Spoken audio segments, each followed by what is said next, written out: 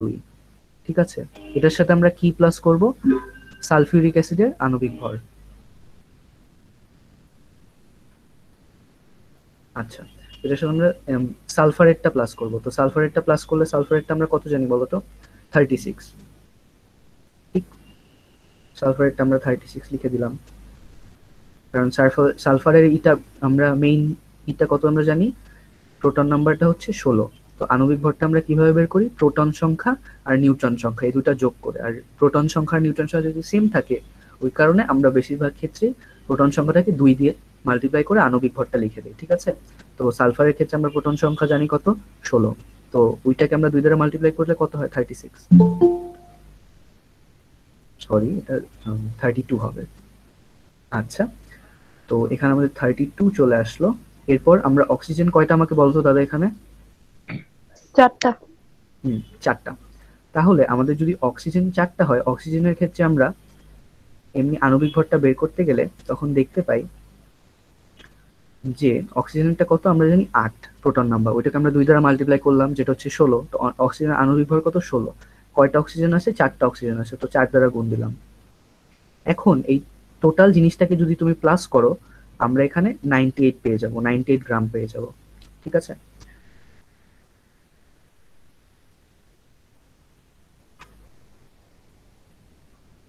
তাহলে আমরা নাইনটি গ্রাম পেয়ে গেলাম। তো আমাদের কাছে এম আছে ভি আছে ডাব্লু আছে। তো এখানে আমরা সুন্দর বসাই দিলাম, আমরা ভি কত বসাবো? এক হাজার মিলিলিটার এম কত বসাবো আমরা? নাইনটি এইট গ্রাম আর ডাব্লু আমাদের কত দেওয়া আছে? নয় দশমিক আট, যেটা হচ্ছে নাইন পয়েন্ট এইট গ্রাম তো ডাব্লু আমরা এখানে বসাই দিলাম। তো এই ফর্মুলার মধ্যে আমরা সবগুলা বসাইলেই কিন্তু ভ্যালুটা পেয়ে যাব। ঠিক আছে?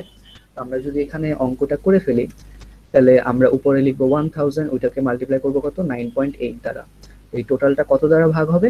নাইনটি এইট ইন্টু আবার ওয়ান থাউজেন্ড দ্বারা ভাগ হয়ে যাবে। তাহলে আমাদের ফাইনাল অ্যান্সার আমরা কত পাবো? S is equal to zero point one molar আসবে। আর জিরো পয়েন্ট ওয়ান মোলার যদি তোমাকে বলে তুমি আর একটু সুন্দর করে এটাও লিখে দিতে পারো, এখানে ডেসিমোলার টোটাল সলিউশনটা কত? ডেসিমোলার তাহলে টিচারটা বুঝবে যে আসলে ডেসিমোলার কি সেন্টিমোলার কি, এটা তুমি জানো।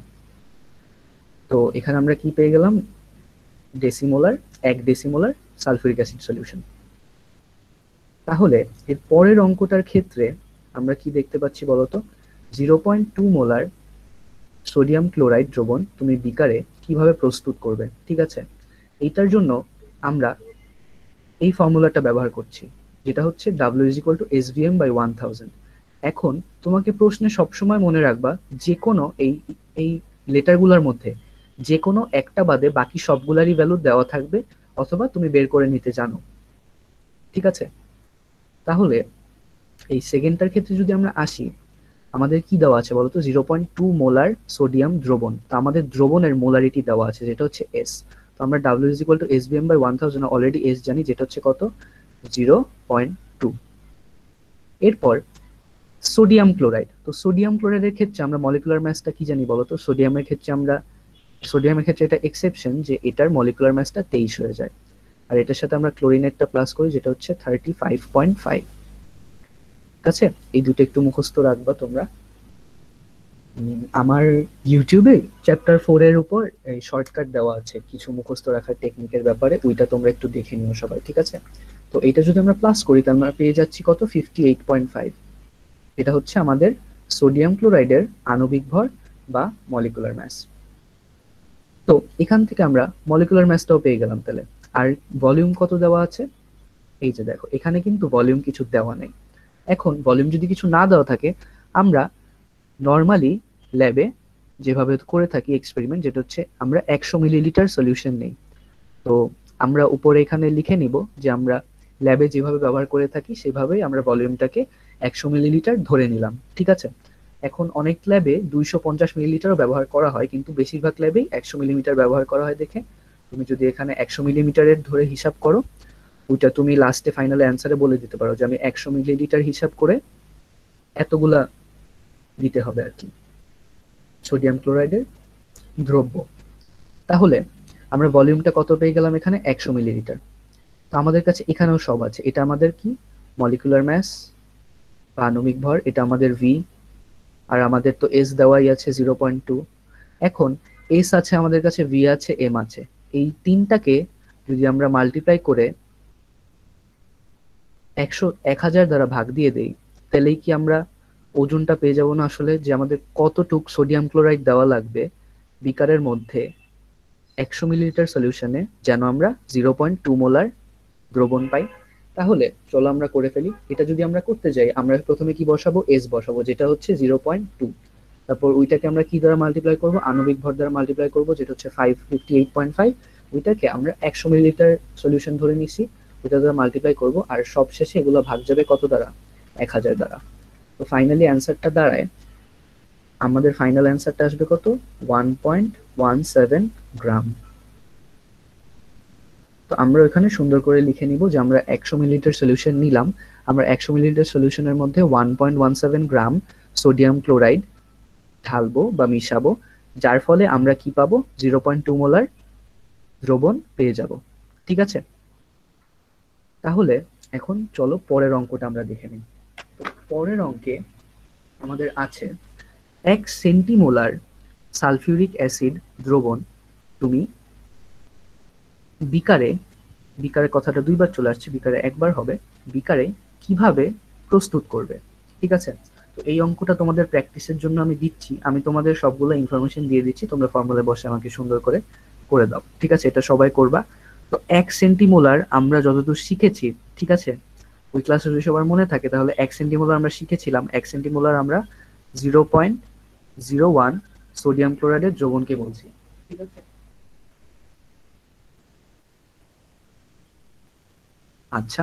তো zero point zero one molar দ্রবণটাকে কিন্তু আমরা সেন্টিমোলার বলে থাকি। আর এখানে কি সালফিউরিক অ্যাসিডের zero point zero one molar দ্রবণ প্রস্তুত করতে হবে। তো আমাদের কাছে কি দেওয়া আছে? এখানে এস দেওয়া আছে। যেটা হচ্ছে এক centimolar zero point zero one. ঠিক আছে? এরপর কি বলেছে? দ্রবণ তুমি বিকারে কীভাবে প্রস্তুত করবে? তাহলে সালফিউরিক অ্যাসিডের ক্ষেত্রে আমরা মলিকুলার ম্যাসটা কত জানি? আমাকে একজন বলো তো তাড়াতাড়ি। আমরা কিছুক্ষণ আগে ক্যালকুলেট করলাম। সহিষ্ণুতা দাদা তুমি বলো তো কত হবে? 98 গ্রাম। নাইনটি এইট গ্রাম। তাহলে নাইনটি এইট গ্রাম আমরা পেয়ে গেলাম। এরপর কি? আমরা ভলিউমটা তো শুরুতেই বলে দিচ্ছি আমরা ল্যাবে যেভাবে নর্মালি প্রস্তুত করি, ওইভাবে করব, যেটা হচ্ছে একশো মিলিলিটার হিসাবে। আচ্ছা তোমরা একটু ওয়েট করো।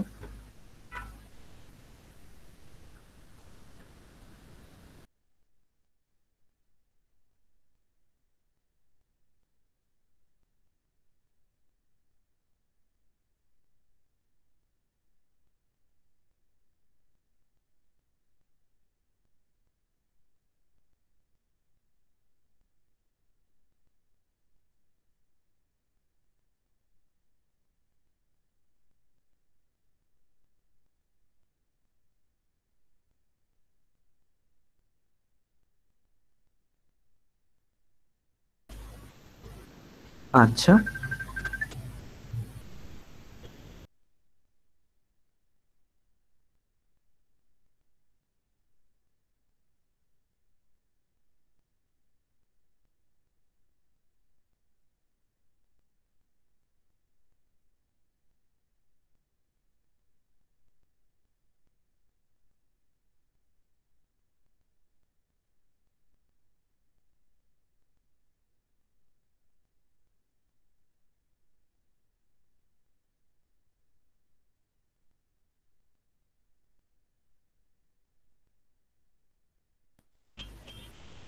আচ্ছা একটা স্টুডেন্ট কল দিয়েছিল আর কি।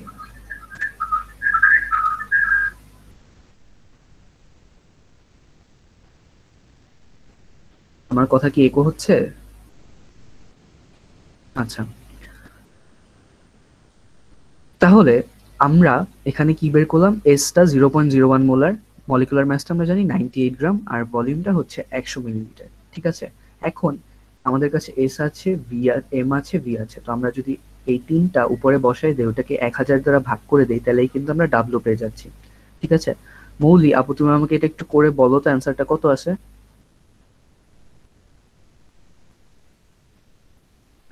ভাইয়া zero point zero nine eight আচ্ছা তোমার অ্যান্সার মিলছে আপু? জি। আচ্ছা তাহলে আমরা কত পেয়ে গেলাম আমাদের অ্যান্সার যেটা হচ্ছে zero point zero nine eight তো আমরা এখানে এটা বের করার পর কি বলে ফেলব? এটা বের করার পর আমরা পর আমরা তাড়াতাড়ি বলে ফেলব যে আমরা একশো মিলিলিটার সলিউশন নিলাম আর ওইটার মধ্যে আমরা point zero nine eight mole এত গ্রাম সালফিউরিক অ্যাসিড ঢেলে দিব। তার ফলে আমাদের কি হবে? আমরা এক সেন্টিমোলার সালফিউরিক অ্যাসিডের দ্রবণ পেয়ে যাব। ঠিক আছে? এখন এখানে অনেকের একটা প্রশ্ন আসতে পারে যে, ভাইয়া আমরা তো ম্যাথে একসময় শিখছি যে আসলে গ্রামটাকে যদি আমরা আম, গ্রামটাকে কিন্তু আমরা মিলিলিটারের কাছে নিতে পারি বা মিলিগ্রাম হিসাবে যদি আমাদের কেমিক্যালগুলো দেওয়া থাকে কেমিক্যালগুলোও তো কিছুটা জায়গা অকুপাই করতেছে। তারপর এই দুইটা মিশানোর পর এটা তো আর একশো এম থাকতেছে না এটা তো একশো point zero zero nine eight অথবা এমন কিছু একটা এম হয়ে যাচ্ছে এটা কিন্তু একদম আমরা একশো এম সলিউশন পাচ্ছি না। এখন এই প্রশ্নের আসলে উত্তরটা হলো, ভাইয়া, তুমি পারফেক্টলি সবসময় একশো এম পাবা না। ওইটা আনতে গেলে আবার একটা কাজ করতে পারো। তুমি একশো এমএল থেকে এইটার যে এটার হিসাবটা এম এ যত আসে, ওইটা তুমি মাইনাস করে ফেলতে পারো।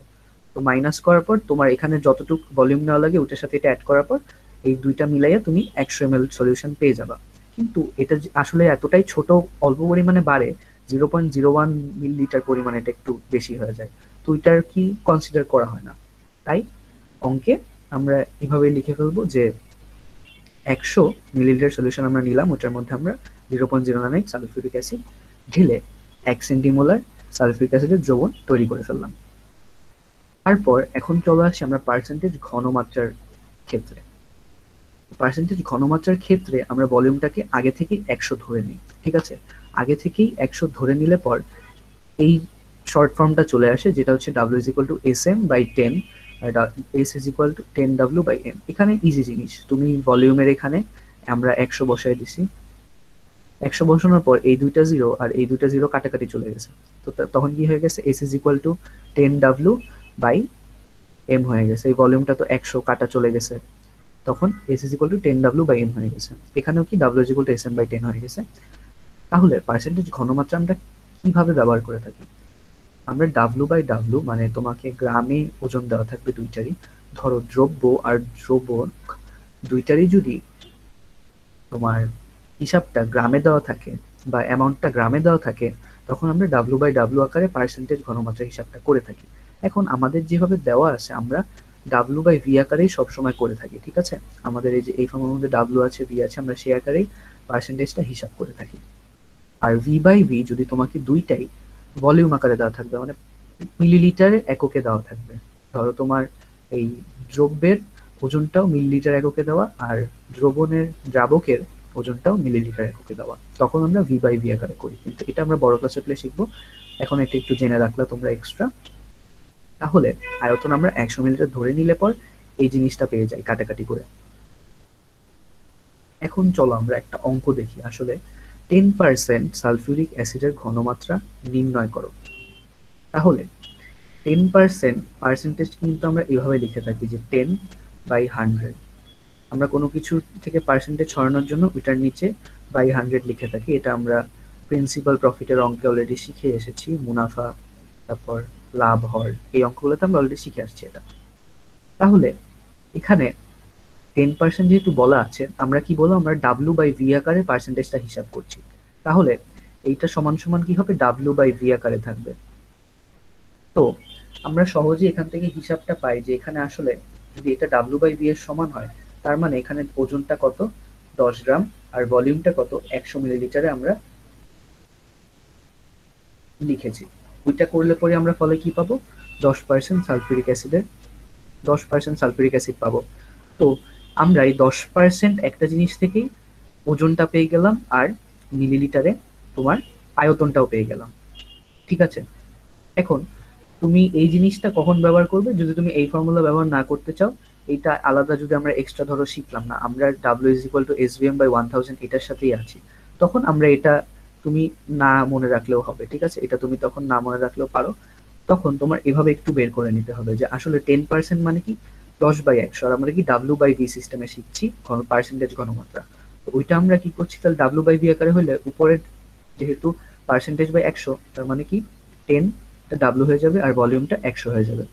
তারপর আমরা এখানে আমরা ধরো আমাদের এসটা দেওয়া থাকল এম এমটা দেওয়া থাকল, আমাদের এসটা বের করতে বলবে। সালভেশন ঘনমাত্রা কত বা কনসেন্ট্রেশনটা কত এখানে? ঘনমাত্রা আর মোলারিটিটা কিন্তু কাছাকাছি জিনিস। এটার মধ্যে পার্থক্য, আমরা বড় ক্লাস উঠলে একটু ভালোভাবে বুঝব। আপাতত তোমরা এটাকে কাছাকাছি ধরে নাও, কোনো চিন্তা নাই। ঠিক আছে?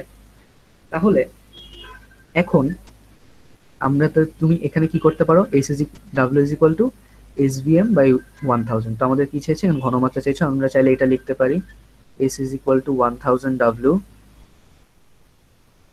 divided by কত? এমভি তো আমরা সালফিউরিক অ্যাসিডের মলিকুলার ম্যাস জানি নাইনটি এইট গ্রাম তারপর আমরা ভলিউমটা এখান থেকে কি বের করলাম? একশো মিলিলিটার এরপর আমরা এখান থেকে ওজনটা কত বের করলাম? দশ গ্রাম। এখানে যদি আমরা সবগুলা বসাই দিই তাহলে কিন্তু আমরা এসটা পেয়ে যাব, যেটা হচ্ছে এক হাজার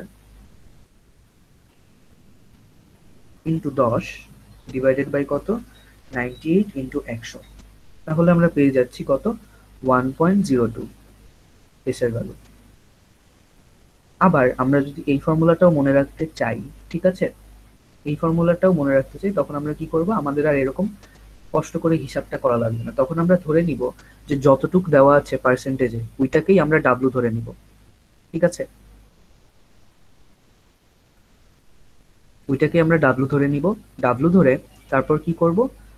আমরা এস এর ভ্যালুটা যদি বের করতে পারব আমরা তখন আমরা কি এটা ইউজ করতেছি, যেটা হচ্ছে S is equal to ten W by M এটা তোমরা মনে রা রাখতেও পারো। এখানে একটু সাইড সুইচ করে এসটাকে এদিকে আনলে ডাব্লুটাকে এদিকে আনলে পরে আর এমটাকে নিচে নিয়ে গেলে সবকিছু ব্যালেন্স হয়ে যায়। ঠিক আছে? তাহলে আমরা এটাকে ডাব্লু ধরে নিলাম। তো আমরা ডাব্লুকে টেন ধরে নিলাম। তারপর কি? আমরা এসটা বের করব। আর আমাদের মলিকুলার ম্যাস জানা আছে কত? নাইনটি এইট গ্রাম তো আমরা এই ফর্মুলাটা ইউজ করলাম। তো এস আমরা কত জানি? এখানে টেন ডাব্লু বাই এম তো ten into ninety nine sorry ten into ten ten into ten gram আর কি হবে? নিচে নাইনটি এইট দ্বারা ভাগ হয়ে যাবে। এইটা করলেও আমরা একই অ্যান্সার পাচ্ছি এখানে। ঠিক আছে? এটা করলেও আমরা একই অ্যান্সার পাচ্ছি। যেটা হচ্ছে ওয়ান পয়েন্ট জিরো টু এখন অনেকে প্রশ্ন করতে পারো যে, ভাই, আমরা ডাব্লুটাকে কেন টেন পার্সেন্ট ইকুয়াল ধরে নিলাম? এখন দেখো, তোমার এই টেন পার্সেন্টটাকে আমরা আগে ভেঙে কি লিখেছিলাম? টেন বাই হান্ড্রেড লিখেছিলাম। এখন এখানে আমরা একটা জিনিস কি এখানে এক্সপ্লেন করলাম না? যে এখানে ভলিউমটা যখন আমরা একশো ধরে নিচ্ছি ভলিউমটা যখন আমরা একশো ধরে নিচ্ছি, তখন উপরের এক হাজারের সাথে ওইটা কাটাকাটি চলে যাচ্ছে, ঠিক আছে? ভলিউমটা আমরা যখন একশো ধরে নিচ্ছি, উপরের এক হাজারের সাথে ওইটা কাটাকাটি চলে যাচ্ছে। এখন ধরে নাও, এইটার নিচেও একশো দেওয়া আছে। তো এটার নিচে যদি এরকম একশো দেওয়া থাকে, তো এটা, এটাকে আমরা ডাব্লু পার্সেন্টেজ হিসাবে লিখতে পারি।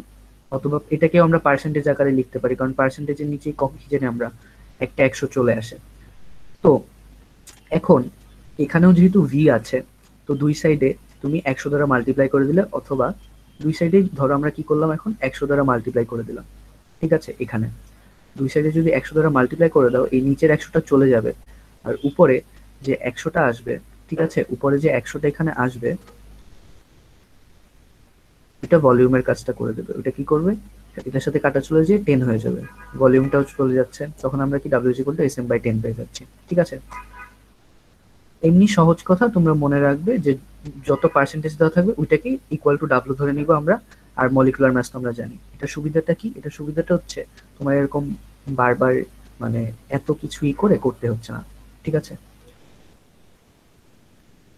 তাহলে এখন পরের স্লাইডটায় যাচ্ছি। তো এটা আর কি তোমাদের প্র্যাকটিসের জন্য আমি দিতে চাচ্ছিলাম।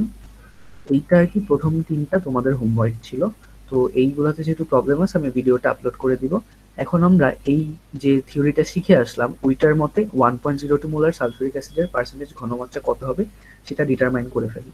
এখন, আমার কথা যদি আগে শুনে থাকো কেয়ারফুলি আমরা কি ধরেছিলাম যে ডাব্লিউ কেই আমরা পার্সেন্টেজ ঘনমাত্রা সমান ধরে নিয়েছিলাম। এখন যদি আমরা শর্টকাট ফর্মুলাটা ব্যবহার করি, তাহলে আমরা এখানে লিখতে পারি না বলতো যে আমাদের আসলে কি হচ্ছে? ডাব্লুটা বের করে গেলেই আমাদের পার্সেন্টেজ ঘনমাত্রার কাজ হয়ে যাচ্ছে। আমাদের আর উল্টা আবার এক হাজার একশো দিয়ে ভাগ করা লাগতেছে না পার্সেন্টেজ বের করার জন্য। ঠিক আছে? তাহলে আমরা এখানে ফর্মুলাটা কি জানি? W is equal to S M by ten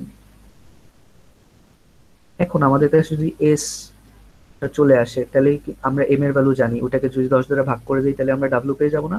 তাহলে এখানে দেখো, আমাদের one point zero two molar এটাই কিন্তু আমাদের সলিউবিলিটি বা কনসেন্ট্রেশনটা দেওয়া আছে সলিউশনে তো আমাদের এস কত?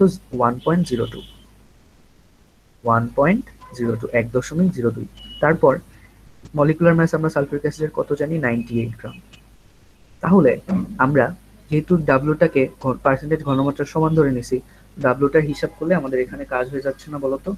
তো ডাব্লুটা যদি আমাদের কত আসে চলো তো দেখি।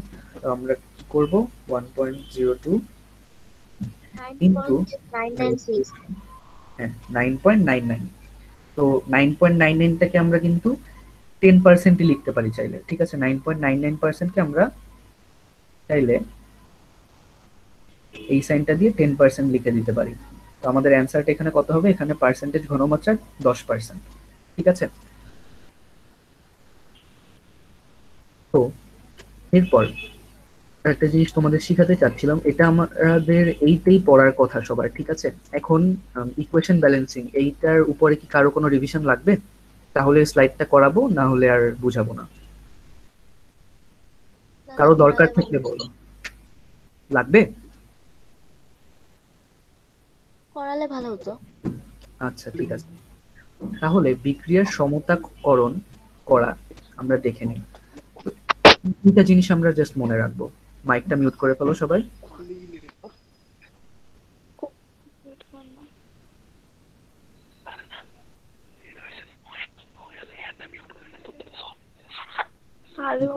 রোজি আপু তুমি মাইকটা একটু মিউট করে ফেলো।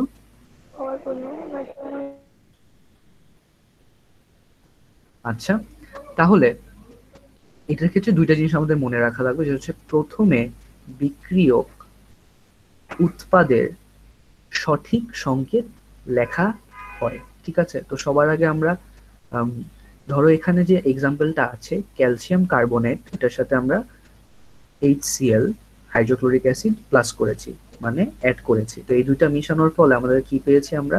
সিএসিএল টু ক্যালসিয়াম ক্লোরাইড আর এখানে কি পেয়েছি? কার্বন ডাইঅক্সাইড আর কি পানি। তাহলে সবার আগে আমাদের কি লিখতে হবে? সবার আগে প্রত্যেকটার কারেক্ট ইকুয়েশনটা আমাদের লিখে ফেলতে হবে। এইচ সিএল এর ক্ষেত্রে আমরা তো এইচ টু সিএল যদি লিখি তাহলে ভুল হবে। এইচ সিএল এর ক্ষেত্রে আমরা কি জানি? এইচ সিএলই হবে। হাইড্রোক্লোরিক অ্যাসিডের formula H Cl CaCl two যদি আমরা সিএসিএল লিখি তাহলে ভুল হবে। এই জিনিসটা এই জিনিসটা একটু মনে রাখতে হবে তোমাদের। তাহলে এটার পর আমরা সবার আগে কি? দুই সাইডে সবগুলার কেমিক্যাল ফর্মুলা ঠিকঠাক ভাবে লিখে ফেললাম, সঠিক সংকেতটা লিখলাম। এখন দেখো তো, আমরা, এখন আমরা করব কি?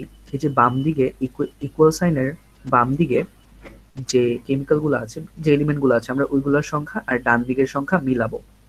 তাহলে এখানে আমাদের ক্যালসিয়াম একটা দেখতে পাচ্ছি আমরা সিএসিও থ্রি এখানে ক্যালসিয়াম একটা আর কোনো ক্যালসিয়াম নাই। তাহলে এই ক্যালসিয়ামের ব্যালেন্স আছে দুই পাশে।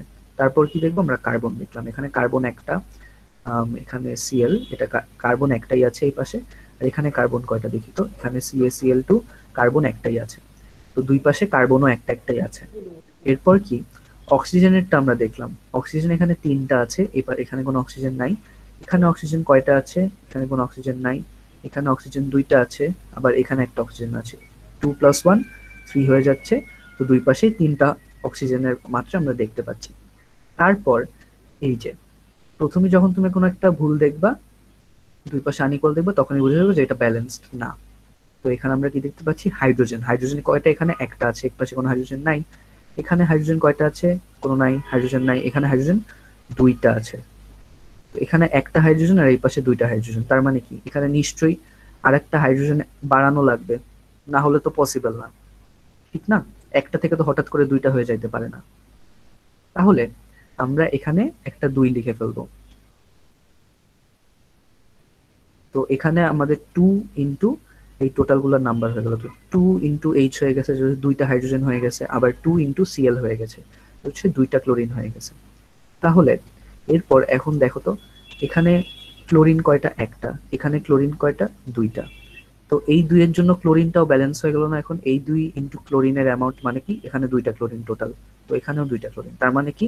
এই ইকুয়েশনটা ব্যালেন্স হয়ে গেল, এটাই বলছে। সমতা না থাকলে মানে এরকম ব্যালেন্স যদি না থাকে, বিভিন্ন সংখ্যা দিয়ে দুই পাশে গুণ করে মৌলের পরমাণুর সংখ্যা সমান করা হয়। ঠিক আছে? তো এই জিনিসটাই ছিল আর কি, তো এইটা এইভাবে করতে হবে। তারপর যেটা চলে আসে এটা হচ্ছে আমরা এটা লিখলে কিন্তু ভুল করব পরীক্ষায়। এটা লিখতে পারি, আমরা একটা কন্ডিশনে যদি আমরা এখানে এই ইকুয়াল সাইনের বদলে আমরা অ্যারো সাইন দিই। অ্যারো সাইন মানে বুঝাই এইটা এগুলা দিয়ে বিক্রিয়া করলে এই উৎপাদকগুলো আমরা পাবো, ঠিক আছে?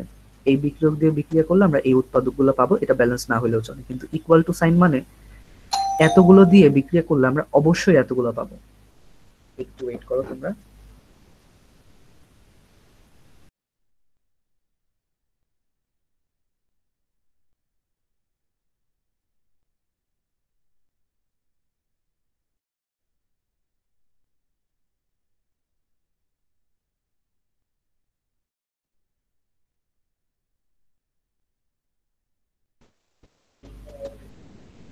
আচ্ছা তাহলে এই জিনিসটা আশা করি সবাই বুঝতে পারছি আমরা।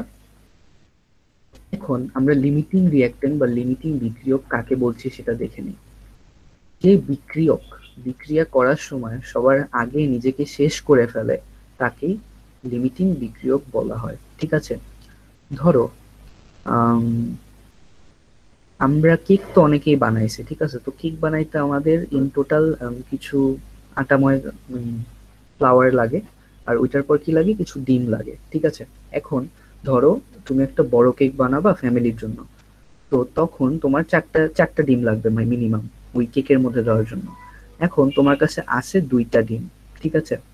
তো আমরা কেকটার মধ্যে যখনই দুইটা ডিম দিব ওই দুইটা ডিম কিন্তু সম্পূর্ণ আটার সাথে মিশবে না। তুমি কিছুক্ষণ পর দেখবা যে তোমার যে ফ্লাওয়ারটা আছে, ওইটা সম্পূর্ণ ব্যাটারটা মিশাইতে পারো না কিছু শুকনা রয়ে আছে। কেন? কারণ তুমি চারটা ডিম দাও না তোমার কাছে আছে দুইটা ডিম ডিম কম।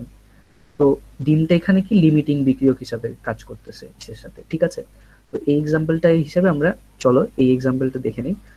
এই আগেরটাই যে ক্যালসিয়াম কার্বনেটের সাথে আমরা দুইটা হাইড্রোক্লোরিক অ্যাসিড বিক্রিয়া করলাম। দুই মোল হাইড্রোক্লোরিক অ্যাসিড বিক্রিয়া করলাম। ওটার পর আমরা ক্যালসিয়াম ক্লোরাইড পাচ্ছি, একটা এই নামক বস্তু পাচ্ছি, আর কি পাচ্ছি? হাইড্রো মানে পানি। তো এখন এটা এখানে কি কার্বন ডাইঅক্সাইড? তো আমাদের কত দেওয়া আছে বলতো? এখানে পঞ্চাশ গ্রাম আর পঞ্চাশ গ্রাম দেওয়া আছে। তো লিমিটিং বিক্রিয়ক বের করার জন্য আমরা সবার আগে, ঠিক আছে? এইটার মলিকুলার ম্যাস মানে আণবিক ভরটা বের করে ফেলব। তো ক্যালসিয়ামের ক্ষেত্রে আণবিক ভরটা চলো আমরা বের করে ফেলি। ক্যালসিয়ামের, ক্যালসিয়াম কার্বনেটের ক্ষেত্রে আমরা আণবিক ভরটা বের করলে আসবে ক্যালসিয়ামের জন্য আমরা কত জানি? ফর্টি কার্বনের জন্য কত জানি? টুয়েলভ যে হচ্ছে সিক্স ইন্টু টু আর অক্সিজেন এখানে কয়টা আছে? তিনটা আছে, তাহলে সিক্সটিন ইন্টু থ্রি হবে। তাহলে এই টোটালটাকে যদি আমরা প্লাস করি, তাহলে আমরা পেয়ে যাচ্ছি একশো। ঠিক আছে? Forty plus twelve plus sixteen into three একশো। এখানে কত? একশো গ্রাম। মানে এক মোল ক্যালসিয়াম কার্বোনেটের ভর একশো গ্রাম। আর এক মোল কয় মোলের সাথে বিক্রি করে? দুই মোলের সাথে। দুই মোলের ক্ষেত্রে আমরা ভরটা দেখে নেই। দুই মোলের ক্ষেত্রে দুই আগে আমরা প্লাস করে দিলাম, তারপরে এইচ এর আণবিক ভরটা বের, দুই মাল্টিপ্লাই করে দিলাম আর এইচ এর আণবিক ভরটা বের করে ফেললাম। এইচ সিএল এর ক্ষেত্রে হাইড্রোজেনের কত আমরা জানি? ওয়ান আর ক্লোরিনের থার্টি ফাইভ পয়েন্ট ফাইভ তো এটা প্লাস করলে থার্টি সিক্স পয়েন্ট ফাইভ হচ্ছে thirty six point five into two এটা হচ্ছে সেভেন্টি থ্রি গ্রাম তাহলে আমরা এক মোল ক্যালসিয়াম কার্বনেট দুই মোল সালফিউরিক অ্যাসিড মানে এইচসিএল এর সাথে রিয়াকশন করে হাইড্রোক্লোরিক অ্যাসিডের সাথে। তাহলে এটা আমরা ভরে নিয়ে গেলাম। তো ভরে কম্পেয়ার করলে একশো gram calcium carbonate seventy three gram hydrochloric অ্যাসিডের সাথে রিয়াকশন করে। তাহলে এটাকে যদি আমরা ইউনিটারি মেথডে লিখতে যাই, তাহলে আমরা এভাবে লিখতে পারি না বলতো? একশো gram calcium carbonate seventy three gram sulphuric অ্যাসিডের সাথে রিয়াকশন করে। এটা আমাদের দুইভাবে করে দেখতে হবে। পঞ্চাশ গ্রাম পঞ্চাশ গ্রাম যেহেতু দেওয়া আছে, আমরা একবার ক্যালসিয়াম কার্বনেটের রেসপেক্টে মেথডটা করে বের করব যে পঞ্চাশ গ্রাম এখানে যে পঞ্চাশ গ্রাম ক্যালসিয়াম কার্বনেট দেওয়া আছে, সেটা এই এই পঞ্চাশ গ্রাম এইচসিএল এর মধ্যে কতটুকু নিচ্ছে বিক্রিয়ার সময়? আবার এই পঞ্চাশ গ্রাম এইচসিএল কতটুকু ক্যালসিয়াম কার্বনেটের সাথে বিক্রিয়া করছে এখানে? তো এই বিক্রিয়ার এই ইসের সময় অ্যামাউন্টের সময় যেখানে আমরা দেখব যে টোটালি শেষ হয়ে যাচ্ছে, সেটাই হবে কি? লিমিটিং রিঅ্যাক্ট্যান্ট একটাই কথা, যেটা সবার আগে নিজেকে শেষ করে ফেলে। তাহলে একশো গ্রাম সেভেন্টি থ্রি এর সাথে রিয়াকশন করে, তাহলে এক গ্রাম সেভেন্টি থ্রি বাই একশো গ্রামের সাথে রিয়াকশন করবে। এরপর আমাদের এখানে কত গ্রাম দেওয়া আছে বলতো? পঞ্চাশ গ্রাম। তো আমরা ক্যালসিয়াম কার্বনেটের রেসপেক্টে এইচ একটা বের করছি। সিএসিও থ্রি রেসপেক্টে আমরা এই এরটা বের করছি, ঠিক আছে? এরকম একটা হেডিং দিয়ে নিতে পারো, তাহলে তোমার বুঝতে সুবিধা হবে। তো এই কেসে আমরা কত পাচ্ছি এখানে? পঞ্চাশ গ্রামের ক্ষেত্রে কত? এটার সাথে পঞ্চাশ মাল্টিপ্লাই হয়ে যাবে seventy three into fifty divided by একশো। তাহলে এটা করলে কত চলে আসে? সেভেন্টি থ্রি ইন্টু ফিফটি ভাগ একশো। এটা করলে আমরা পেয়ে যাচ্ছি thirty six point five five gram HCl তাহলে তোমার এখানে দেওয়াই আছে পঞ্চাশ গ্রাম। ঠিক আছে? তো পঞ্চাশ গ্রাম ক্যালসিয়াম কার্বনেট যদি শুধুমাত্র থার্টি সিক্স পয়েন্ট ফাইভ গ্রামের সাথে রিয়াকশন করে শেষ হয়ে যায়, তাহলে এই পঞ্চাশ গ্রামের পঞ্চাশ গ্রাম সালফিউরিক অ্যাসিড কিন্তু ব্যবহার হবে না এখানে। এখানে কয়টা ব্যবহার হবে বলতো? এখানে কতটুকু ব্যবহার হবে? এখানে thirty six point five gram ব্যবহার হওয়ার পর কি হবে? এই পঞ্চাশ গ্রাম এটার সাথে রিয়াকশন করে এই প্রোডাক্ট তৈরি করে ফেলবে, ঠিক আছে? উৎ- উপাদ, উৎপাদ বা উৎপাদক তৈরি করে ফেলবে, ঠিক আছে? তো ওটার ফলে কি হবে? এটা শেষ হয়ে যাবে কমপ্লিটলি এটা টোটালি চলে গেল, শেষ হয়ে, আর এটার কতটুক গেল? এটার শুধুমাত্র thirty six point five gram গেল, ঠিক আছে? তো এখান থেকে তোমাকে আরেকটা স্টেম বা লাগাই প্রশ্ন করতে পারে যে কতটুক সালফিউরিক অ্যাসিড মানে কতটুক হাইড্রোক্লোরিক অ্যাসিড বাকি আছে বিক্রিয়ার পর? তখন আমরা কি করব? আমরা দেখলাম যে বিক্রিয়ায় thirty six point five gram sulphuric acid ব্যবহার হচ্ছে। তো এর ফলে আমরা এটাকে মাইনাস করে দিব। তো পঞ্চাশ থেকে যদি আমরা থার্টি সিক্স পয়েন্ট ফাইভ গ্রামকে মাইনাস করি, তাহলে আমরা এটা মাইনাস করার পর যদি thirty six point five gram এটাকে মাইনাস করার পর আমরা পেয়ে যাব থার্টিন পয়েন্ট ফাইভ গ্রাম। তখন আমরা অ্যান্সারে বলে দিব যে বিক্রিয়ার পর থার্টিন পয়েন্ট ফাইভ গ্রাম সাল এইচসিএল বাকি থাকে। ঠিক আছে? তাহলে এখানে কিন্তু আমাদের একবারেই মিলে গেল। অনেক সময় মিলবে না। ধরো তুমি এইচসিএল এর রেসপেক্টে আগে করে ফেললাম আমরা। তখন আমরা দেখব কি? এই থার্টি সিক্স পয়েন্ট তখন দেখব পঞ্চাশ গ্রাম এইচসিএল এই পঞ্চাশ গ্রাম থেকে আরও একটু বেশির সাথে রিয়াকশন করে, ঠিক আছে? তো এটা আমরা শর্টকাটে করে ফেলি যে সেভেন্টি থ্রি গ্রাম এইচসিএল একশো গ্রামের সাথে রিয়েক্ট করে, ঠিক আছে? এটা কি এইচসিএল থেকে ক্যালসিয়াম ক্লোরাইড এটা কিন্তু খুবই ইম্পর্টেন্ট এটা তোমাদের প্রায় কমন কোয়েশ্চেন আসে এই চ্যাপ্টার থেকে। তো আমরা এইচসিএল থেকে ক্যালসিয়াম ক্লোরাইডের এটা বের করতে অ্যামাউন্টটা বের করতে যাচ্ছি তো সেভেন্টি থ্রি গ্রাম রিয়াকশন করে কত? একশো গ্রামের সাথে। এরপর এক গ্রাম কতর সাথে তাহলে রিয়াকশন করবে? একশো by seventy three gram. Zero point something something আসবে। তাহলে এখানে দেওয়া আছে কত? পঞ্চাশ গ্রাম। তো এটা যদি তোমরা করে দেখো, একজন আমাকে করে বলো তো, এখানে কিন্তু পঞ্চাশের বেশি আসার কথা অ্যান্সারটা একজন আমাকে করে বলো অ্যান্সারটা একশো by seventy three into fifty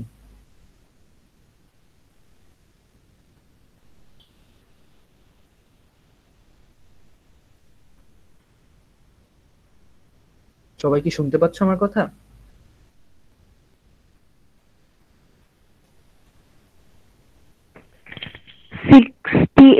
point four nine three. Answer মিলছে দাদা। অ্যান্সার ঠিক আছে। তাহলে হ্যাঁ অ্যান্সারটা এটাই sixty eight point four nine three তাহলে এখানে আমি কেমনে বুঝলাম যে আসলে এটা পঞ্চাশের বেশি আসবে? কারণ দেখো এটা ইজি কথা।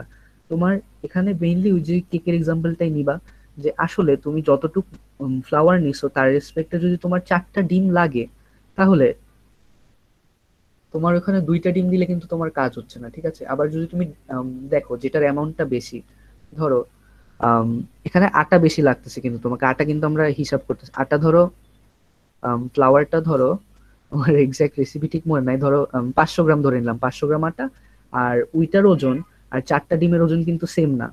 তো ওজনের রেসপেক্টে কিন্তু আটার ওজনটা এখানে বেশি, ঠিক আছে? তো তুমি যখনই যেটা কম, ওইটার হিসাবে, বড়টার হিসাব করতে যাবে, তখনই দেখব ওইটা থেকে বেশি চলে আসতেছে। তো এইটা যদি তোমরা আগে করে ফেলো, তখন আবার এই জিনিসটা করে ফেলবা শিওর হওয়ার জন্য।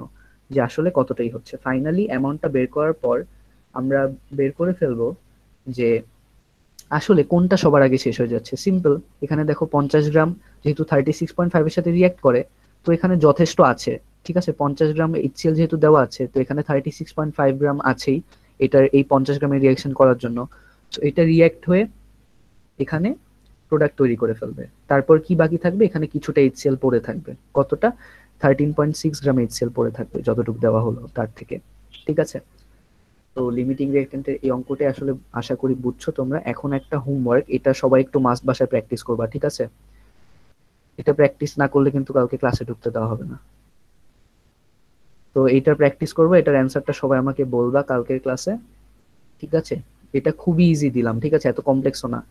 দুইটা ম্যাগনেসিয়াম একটা অক্সিজেন গ্যাসের সাথে রিয়াকশন করছে। দুই মোল ম্যাগনেসিয়াম এক মোল অক্সিজেন গ্যাসের সাথে রিয়াকশন করে ম্যাগনেসিয়াম অক্সাইড তৈরি করল, ঠিক আছে? তো এইটার ক্ষেত্রে তোমার কি দেওয়া আছে? ম্যাগনেসিয়াম অক্সাইডের ফর্টি এইট গ্রাম দেওয়া আছে আর অক্সিজেনের থার্টি টু গ্রাম দেওয়া আছে, ঠিক আছে? তো এইটা তোমরা হোমওয়ার্ক করে এটার একটা নোট তোমরা লিখে ফেলো খাতায় অথবা নোট নিয়ে রাখো যে এটার হোমওয়ার্কটা করে তোমরা আমাকে অ্যান্সারটা বলবা। যে আসলে এখানে তোমাকে তিনটা অপশন দিলাম। ধরো, এটা কিন্তু এমসিকিউ কোয়েশ্চেনের মতো বলতে পারো। এখানে তিনটা অপশন দিলাম তোমাদের, যে যে কোনো তিনটা অপশন এখানে কোনো লিমিটিং রিঅ্যাক্টেন্ট নাই। এক। দ্বিতীয় অপশন দুইটাই লিমিটিং রিঅ্যাক্টেন্ট আর তৃতীয় অপশন হয়তোবা ম্যাগনেসিয়াম অথবা হয়তোবা অক্সিজেন লিমিটিং রিঅ্যাক্টেন্ট ঠিক আছে? এই তিনটা কেসের যে কোনো একটা হবে, ঠিক আছে? তো এইটা তোমরা করবা। এই অঙ্কটা সবাই একটু বাসায় প্র্যাকটিস করবা। আর যদি এখানে একটু বুঝতে প্রবলেম হয়, আমি আজকের ভিডিওটা আমি এখনই সাথে সাথে ক্লাস শেষে আপলোড দিয়ে দিচ্ছি। তোমাদের লিঙ্কটা আজকের মধ্যে পেয়ে যাবা, তোমরা রাত বারোটা একটা যতই বাজুক দিয়ে দিব। তোমরা এটা একটু রিপ্লে করে এই পার্টটা দেখে নিও যে আসলে কেমনে এটা করলাম আমরা। তাহলে আমরা চলো স্টয়কিওমেট্রি বা স্টয়কিওমেট্রি ডেফিনেশনটা জেনে নেই। এই ডেফিনেশনটা প্রায় তোমাদের বি টাইপ কোয়েশ্চেন অথবা এ টাইপের জন্য আসে, ঠিক আছে? এটা এ টাইপ বি টাইপের জন্য ইম্পর্টেন্ট কখ এটা হচ্ছে রাসায়নের যে শাখায় বিক্রিয়কের পরিমাণ থেকে উৎপাদের পরিমাণ এবং উৎপাদের পরিমাণ থেকে বিক্রিয়কের পরিমাণ বের করা হয়, তাকেই আমরা কি বলছি? ওই প্রসেসটাকেই ওই শাখাটাকে আমরা স্টয়কিওমেট্রি বলছি, ঠিক আছে? তো আপাতত তোমাদের বইয়ে এই ডেফিনেশনটা লেখা আছে, তোমরা এটাই লেখো। বড় ক্লাসে উঠলে জাস্ট দুই একটা জিনিস অ্যাড হবে, যেটা হচ্ছে এখানে শুধুমাত্র পরিমাণের বদলে তোমার এই প্রত্যেকটার পরিমাণের বদলে এটার পরমাণু, অণু, তারপর মলিকিউল ইথি সব আসবে একসাথে, ঠিক আছে? পরমাণু, অণু, সংখ্যা, এগুলা জাস্ট অ্যাড হয়ে যাবে। এখানে কিসের বদলে? এখানে পরিমাণের বদলে। তখন আমরা কি লিখব? যে রাসায়নের যে শাখায় বিক্রিয়কের পরমাণু, অণুর সংখ্যা থেকে উৎপাদনের, উৎপাদের পরমাণু, অণুর সংখ্যা ও উৎপাদের পরিমাণ, অণুর সংখ্যা বের করা হয়, সেটাকে আমরা কি বলছি? বিক্রিয়কের সেটাকে আমরা স্টয়কিওমেট্রি বলছি, ঠিক আছে? তো এখানে এই লাইনটা মনে হয় একটু রিপিট হয়ে গেছে। যে, ও না না, এটা ঠিকই আছে। এখানে দুইটা প্রসেস তোমরা মনে রাখবা, উল্টা। এক, একভাবে কি করতেছি আমরা? বিক্রিয়ক থেকে উৎপাদের পরিমাণ বের করতেছি এবং উৎপাদের থেকে বিক্রিয়কের পরিমাণ বের করতে পারতেছি, ঠিক আছে? এই জিনিসটাই উল্টা, যে একবার আমরা রিঅ্যাক্টেন্ট থেকে প্রোডাক্টের অ্যামাউন্ট প্রোডাক্ট থেকে রিঅ্যাক্টের অ্যামাউন্ট বের করছি, এটাকে আমরা কি বলছি? স্টয়কিওমেট্রি বলছি। তাহলে এটার একটা এক্সাম্পল কি হয়? এটা আমরা মোল হিসাবে ধরে নেই। ধরো, আমরা স্টয়কিওমেট্রিতে কীভাবে এক্সাম্পল দিব? যে, এখানে দুই মোল ম্যাগনেসিয়াম। এটা কি? অক্সিজেন। তো এটা ব্যালেন্স করা না থাকলে তোমাদের যদি মনে হয় ব্যালেন্স না করা, তাহলে ব্যালেন্স করে নিবা। আর যদি ব্যালেন্স করা থাকে, তাহলে তো ভালোই। ঠিক আছে? তাহলে, এখানে দুই মোল ম্যাগনেসিয়াম থেকে দুই মোল ম্যাগনেসিয়াম অক্সাইড হচ্ছে। ঠিক আছে? আবার কি দেখা যাচ্ছে এখানে এক মোল অক্সিজেন গ্যাস থেকে দুই মোল ম্যাগনেশিয়াম অক্সাইড হচ্ছে। আবার কি দেখা যায়? এইটাই তো। তো এই জিনিসটাই যে আবার তুমি যদি এটাকে উল্টা করে ভাঙো, তখন দেখতে পাবা যে দুই মোল ম্যাগনেশিয়াম অক্সাইড থেকে এক মোল অক্সিজেন গ্যাস পাচ্ছ, আবার দুই মোল ম্যাগনেসিয়াম পাচ্ছ। এই জিনিসটাই যে এটার দুই মোল আর এক মোল মিলে এটার কয় মোল সৃষ্টি করছে, আবার এটার দুই মোল ভাঙলে পর এটার কয় মোল হচ্ছে। ওই হিসাবটাকেই কিন্তু আমরা স্টয়কিওমেট্রি বলছি, ঠিক আছে? তাহলে এই টপিকটা যদি শেষ হয়ে যায়, এখন এটা একদম মার্কা মারা কোয়েশ্চেন খুবই বেশি ইম্পর্টেন্ট তোমাদের বইয়ের পেজ নাম্বার একশো বিশ থেকে বিশের একটু আগে মনে হয়। তো একশো আঠারো থেকে একশো ছাব্বিশের আগ পর্যন্ত একটু পড়া থাকবে, তোমরা ওটা সবাই মাস্ট পড়বে। আর এইটা দেখলে তো তোমরা বুঝবে এটা প্রায়ই আসে কোয়েশ্চেনে যে পার্সেন্টেজ অফ ইল্ড ঠিক আছে? ইল্ড মানে আমরা জানি উৎপাদন বা কতটুকু ক্রিয়েট হয়েছে, ঠিক আছে? তাহলে পার্সেন্টেজ অফ ইল্ড ক্যালকুলেশনের ক্ষেত্রে তোমার অঙ্কটা এরকম থাকবে বাট তার আগে এই জিনিসটা আমরা জেনে নিব যে কোনো পদার্থের কোনো কখনো একশো পার্সেন্ট বিশুদ্ধতা অ্যাচিভ করা যায় না, ঠিক আছে? ওই রকম এনভায়রনমেন্ট আসলে সৃষ্টি করা যায় না, যেটা একশো পার্সেন্ট বিশুদ্ধ থাকবে। ওটা হয়তো বা ninety nine point nine nine nine nine something percent বিশুদ্ধ থাকবে, কিন্তু সবসময় point zero zero zero zero one two problem থাকবে ওইটার মধ্যে, ঠিক আছে? ওইটা নেগলিজিবল ঠিক আছে, ওইটাকে কনসিডার করা হয় না।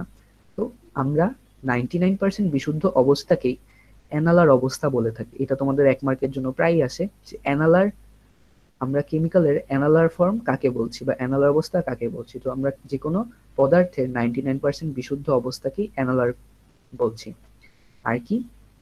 তারপর এই যে ক্যালাসন পাতন, আংশিক পাতন, তারপর ক্রোমাটোগ্রাফি এরকম ইত্যাদি ভাবে আমরা আর কি জিনিসটাকে বিশুদ্ধতা ডিটারমাইন করি বা এখানে বিশুদ্ধ করতে থাকি আসলে, ঠিক আছে? ক্যালাসন মানে ক্যালসিলেশন, ক্যালসিনেশন মানে ক্যালাস ফর্ম করা বা ক্রিস্টাল ফর্ম করা, ঠিক আছে? তো ক্রিস্টাল ফর্ম করা কি আমরা বলছি? ক্যালাসন। পাতন মানে ডিস্টিলেশন, আংশিক পাতন মানে পার্শিয়াল ডিস্টিলেশন আর ক্রোমাটোগ্রাফিও এটাই এটা আমরা বড় ক্লাসে শিখব, ঠিক আছে?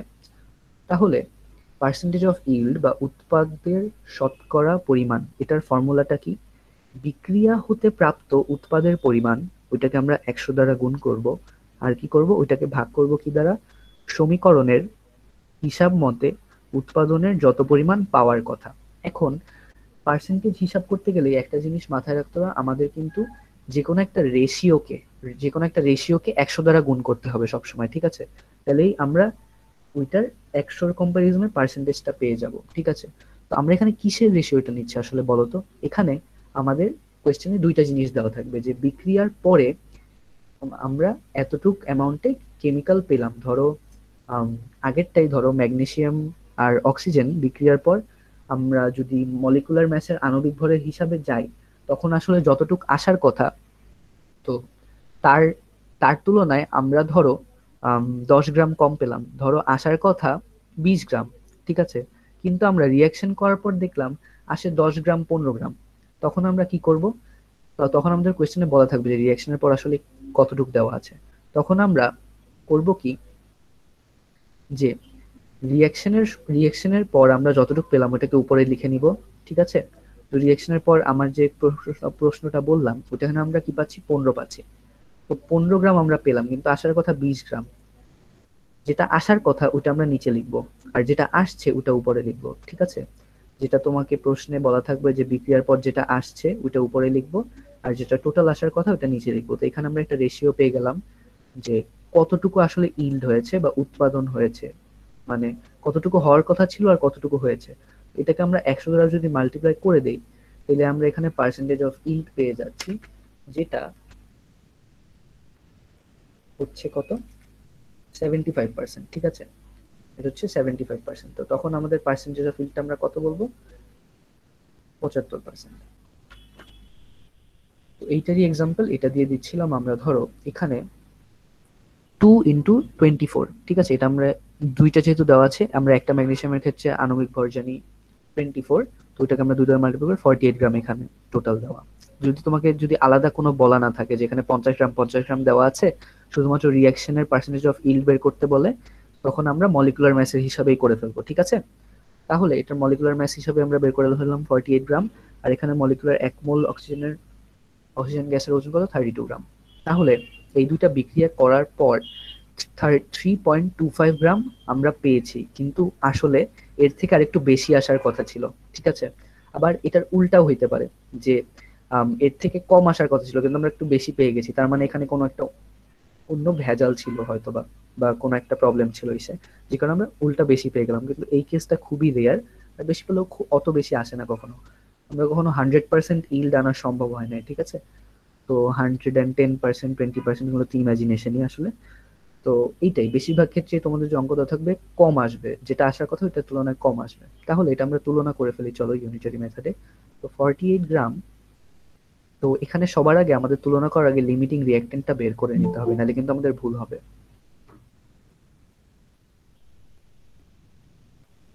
ঠিক আছে, এখানে যদি আমরা লিমিটিং রেটটা বের করে না করি তাহলে ভুল হবে। বলতো কেন? কারণ লিমিটিং রিঅ্যাক্টেন্টটা শেষ হয়ে যাওয়ার পরপরই কিন্তু বিক্রিয়াটা শেষ হয়ে যায়, ঠিক আছে? আর বিক্রি ওই কারণেই ওটার পর বিক্রিয়া হয় না কারণে কি হয়? আর প্রোডাক্ট তৈরি হয় না, ঠিক আছে? তো আমরা এখানে সবার আগে লিমিটিং রিঅ্যাক্টেন্টটা বের করে নেই, চলো। যদি এখানে তোমাদের সুবিধাই করে দিছি যেহেতু এখানে ডাইরেক্ট ই দেওয়া মানে মলিকুলার ম্যাসেজ হিসাবে করছি, এখানে লিমিটিং রিঅ্যাক্টেন্ট দুইটাই আসলে ফর্টি এইট গ্রামটা টোটাল থার্টি টু গ্রামের সাথে রিয়াকশন করবে, তো আমরা দেখে নিই আসলে। তো ফর্টি এইট গ্রাম থার্টি টুর সাথে করতেছে, এক গ্রাম ও থার্টি টু এক গ্রাম কত সাথে করতেছে তাহলে? Thirty two by forty eight এখানে দেওয়া আছে কত? ফর্টি এইটই দেওয়া আছে ফিফটিও কিন্তু দেওয়া নাই। এখানে যদি ফিফটি দেওয়া থাকতো, তখন একটু আলাদা অ্যান্সার পাইতাম আমরা। এখানে কি লিখব? আবার ফর্টি এইটি লিখব। কি হলো ঘুরাই ফিরে যেই লাও সেই কদু thirty two into forty eight divided by forty eight into forty eight forty eight forty eight কাটা থার্টি টুই চলে আসলো, ঠিক আছে? তাহলে আমরা এখানে কি জেনে গেলাম? এখানে দুইটাই লিমিটিং রিয়েক্টেন্ট হিসেবে কাজ করতেছে। তাহলে এখানে আমাদের লিমিটিং রিয়েক্টেন্ট মাথা ব্যথা নাই। যে কোনো একটা ধরে যদি আমরা করে ফেলি, ধরো অক্সিজেনের রেসপেক্টে যদি আমরা ম্যাগনেসিয়ামের অ্যামাউন্টটা ইউনিটারি মেথডে বের করি বা ম্যাগনেসিয়ামের রেসপেক্টে যদি বের করি, দুইটাই ঠিক আছে। তাহলে চলো এখন ইউনিটারি মেথডে বের করে ফেলি। আমরা অক্সিজেন হিসেবে বের করি। তো thirty two gram oxygen reaction করে এখানে আমরা এটার মলিকুলার ম্যাসটা বের করে ফেলি। চলো, তো ম্যাগনেশিয়ামের ক্ষেত্রে আমরা কত জানি? টোয়েন্টি ফোর অক্সিজেনের ক্ষেত্রে আমরা কত জানি? সিক্সটিন তো টোয়েন্টি ফোর আর সিক্সটিন মিলে ফর্টি হয়ে যাচ্ছে। তো ফর্টিকে আমরা দুই দ্বারা মাল্টিপ্লাই করব, যেহেতু এখানে দুই মোলার আছে আশি চলে আসতেছে। এই জিনিসটা তোমরা আবার চেক করতে পারো, ঠিক আছে? যে তোমাদের পরীক্ষায় সবসময় ব্যালেন্স করে দেওয়া থাকবে না। তোমরা ব্যালেন্স করার পর আবার এই যে যে অ্যামাউন্ট দেওয়া আছে ওটার সাথে চেক ক্রস চেক করে দেখতে পারো যে তুমি মলিকুলার ম্যাসগুলো বের করলা, ওটা মিলে নাকি এটার মলিকুলার ম্যাসের সাথে। তো ফর্টি এইট গ্রাম আর থার্টি টু প্লাস করলেও কিন্তু আমরা এইটটি পাচ্ছি, ঠিক আছে? তাহলে তো থার্টি টু গ্রামের জন্য আশি গ্রাম ম্যাগনেসিয়াম অক্সাইড তৈরি হচ্ছে। তো এক গ্রামের জন্য আশি বাই থার্টি টু ক্রিয়েট হবে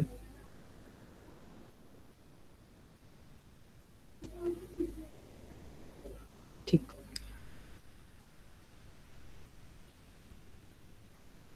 হুম, তাহলে এক গ্রামের জন্য কত পাচ্ছি? আশি বাই থার্টি টু পাচ্ছি। ঠিক আছে?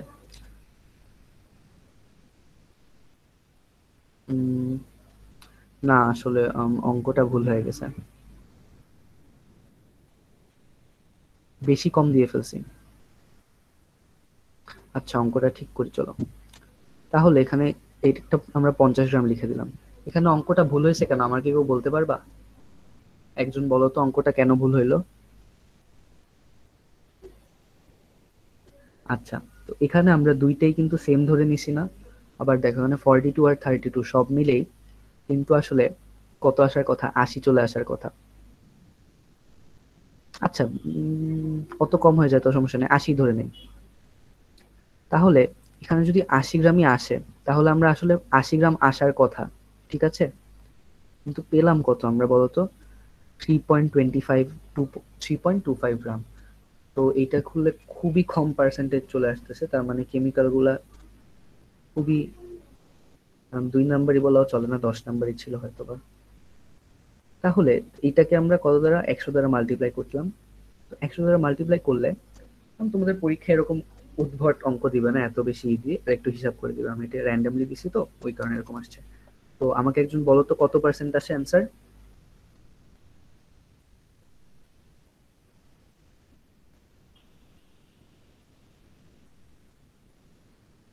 তোমাদের অ্যান্সার কি এটা আসে?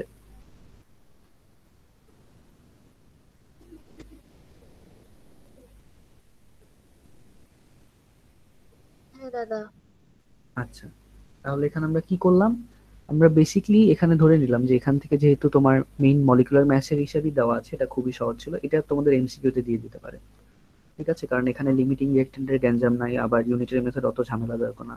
এখানে ডাইরেক্ট থার্টি টু গ্রাম থেকে আমরা আশি গ্রাম পাচ্ছি। আশি গ্রাম পাওয়ার কথা। আর এখানে টোটাল ম্যাগনেশিয়ামও আছে, যত লাগে আশি গ্রাম ক্রিয়েট করার জন্য। বাট আমরা আসলে কত পাচ্ছি? Three point two five gram পেয়ে যাচ্ছি, ঠিক আছে? Three point two five gram যদি আমরা পেয়ে যাই, তখন আমাদের কি? ওটার উপরে বসাবো, আমরা যত পাবো, যত পাওয়ার কথা সেটা আমরা নিচে বসাই দেবো, এটাকে একশো দ্বারা মাল্টিপ্লাই করে দেবো। খুবই কম এখানে এলিমেন্ট আসছে পার্সেন্টেজ অফ ইল্ড শুধুমাত্র four point zero six percent ঠিক আছে?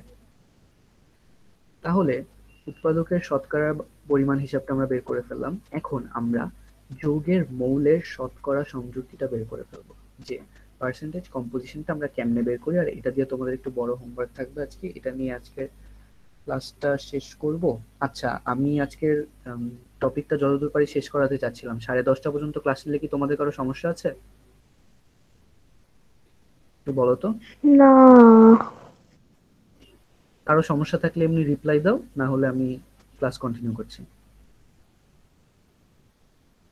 আচ্ছা কারও ধরে নিচ্ছি সমস্যা নাই। তাহলে আমরা দশটা তিরিশ পর্যন্তই পড়ি, একটু বেশি সময় ধরে পড়ি। তাহলে যৌগের মধ্যে একটি মৌলের শতকরা সংযুক্তি আমরা বের করব। তো এটার জন্য আমরা সবার আগে কি করব বলতো? এটার জন্য আমরা সবার আগে মৌলের পারমাণবিক ভরটা উপরে লিখব, ঠিক আছে? আমরা এই ডিভিশন সাইনের উপরে কি থাকবে? মৌলের পারমাণবিক ভর। ওটার সাথে মাল্টিপ্লাই কি হবে? পরমাণুর সংখ্যা, ঠিক আছে? তো ওই পরমাণুর কয়টা সংখ্যা? টোটাল মৌলে আছে, ঠিক আছে? যে পরমাণুটার হিসাব আমরা করছি, ওইটাকে একশো দ্বারা মাল্টিপ্লাই করব। পার্সেন্টেজের হিসাব আমরা সবসময় জানি একশো একটা থাকবেই। একশো দ্বারা মাল্টিপ্লাই করব ওটা নিচে কি যাবে? যৌগের আণবিক ভর যাবে, ঠিক আছে?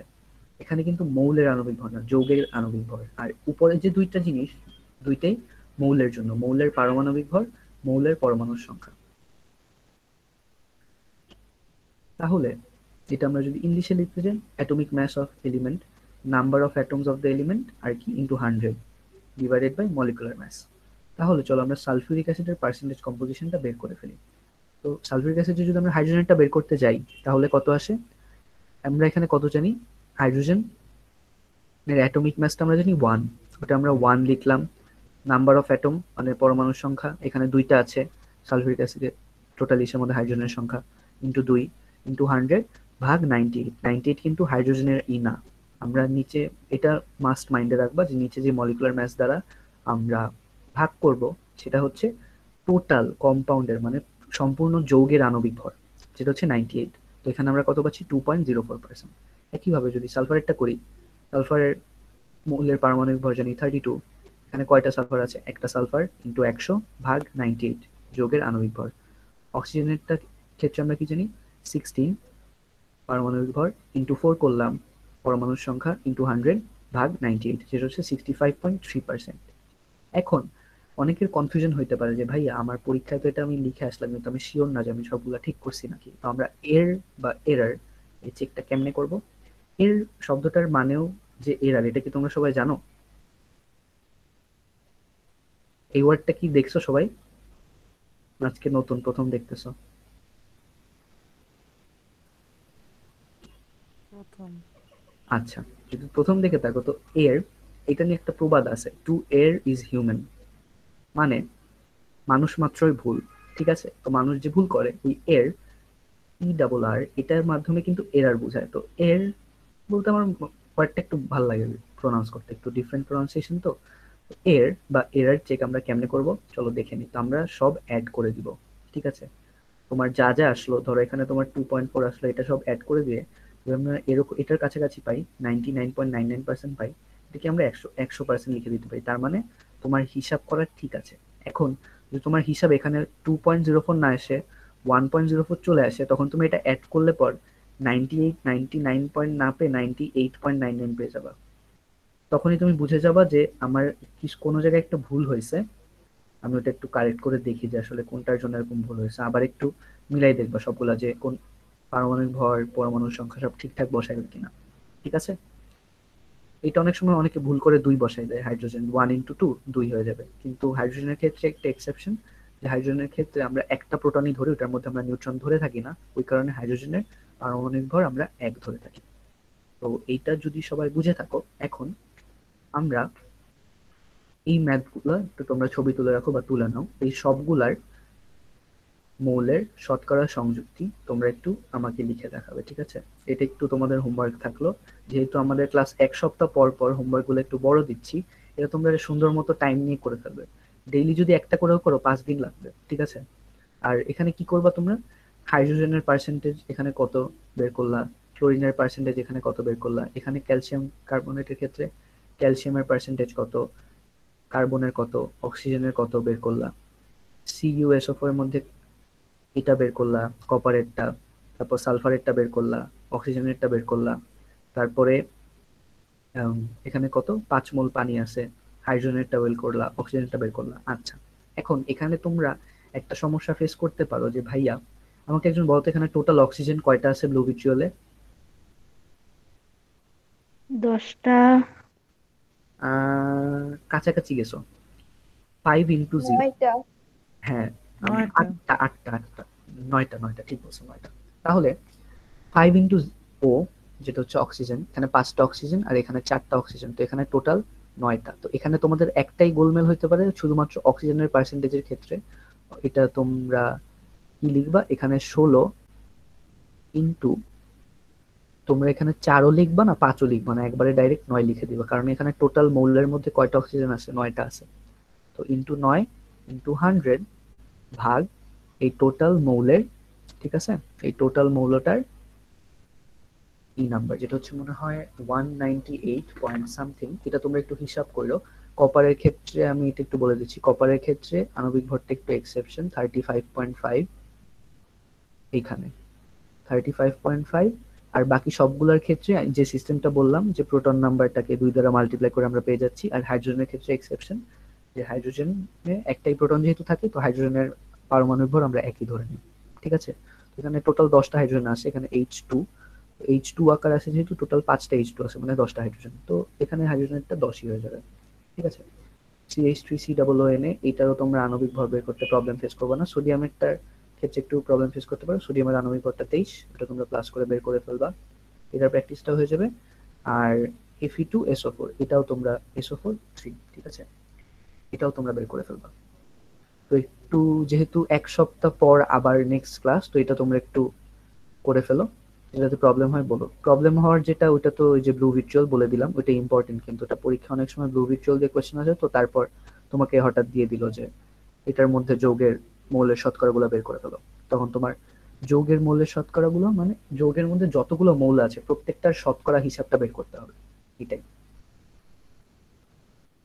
তাহলে তো আজকের পরের স্লাইডটা আর কি অত বানানো হয় নাই। তো এখন যেহেতু সময় আছে, আমি তোমাদের আর কি বইয়ে সুইচ করতেছি। তো এই পার্টটা তোমরা একটু বইয়ে পড়ে ফেলবা, ঠিক আছে? তো আমরা বইটা দেখতে পাচ্ছ না সবাই?